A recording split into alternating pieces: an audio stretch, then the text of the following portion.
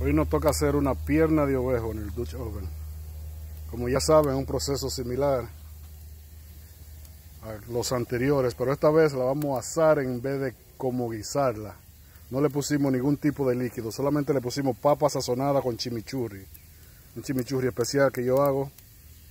Además sazoné la pierna de, de ovejo con el mismo chimichurri. Viene con el hueso, yo la, le quité el hueso y la piqué, la partiendo, mejor dicho. Entonces la ponemos ahí, la subimos encima de la papa. El fuego ya está encendido.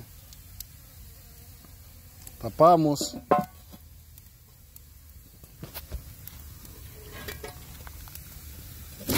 Ponemos en el fuego.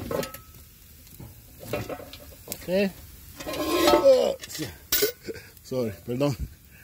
Ponemos en el fuego. Déjame acomodarlo mejor la leña. Ok. La leña se acomoda un poquito mejor. Tengo mi machete aquí para pa los guapos. Machete boto y, y mo, mojoso. ok. Que la ponemos. La tapamos. Y la leña se la ponemos por encima. Porque queremos que se, se cocine por encima también.